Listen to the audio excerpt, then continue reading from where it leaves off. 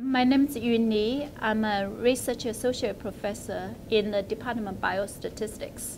I was born in China. My dad was a math teacher, and I was like math, and the math came really natural to me. I grew up in China. We probably did not have the luxury to think about, you know, what, what we really like, what's our dream back then. And uh, in high school, we have the chance to feeling uh, what kind of major we want to have. I actually chose biology. And when I went to college, actually, I found I wasn't very good with lab experiments, and uh, I was pretty awkward with my hands. And, and then, um, but fortunately, I learned uh, quite a bit uh, math, uh, even with the, the, biology major.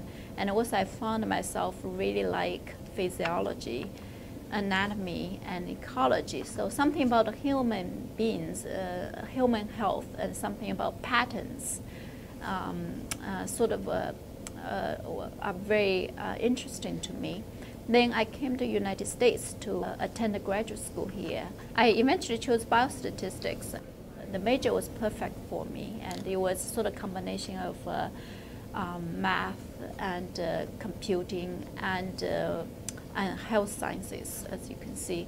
And then, uh, um, then I went to work for a couple years afterwards, and then I wanted more, so I came to the University of Michigan to study PhD in the Department of Biostatistics. And uh, then after I got my PhD, I joined the faculty in the same department. So I focus on, um, currently focus on um, breast cancer research and uh, kidney disease research. We just have done this research a couple of uh, months ago, and we're looking at the, um, the renal disease database in the whole United States. There are so many, you know, different tests that sort of help you navigate the decision whether you're going to um, actually get in chemotherapy, if you do get chemotherapy, the side effect is huge, whether you're going to get radiation therapy, which kind of radiation, radiation therapy you're going to get.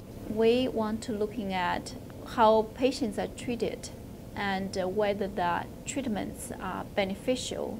And so there's so many options to make and so many choices uh, you have to, you know, um, choose from. And then and who can help you with this and whether one choice is better than the other. And I found that process uh, know, knowing that is very fascinating to me.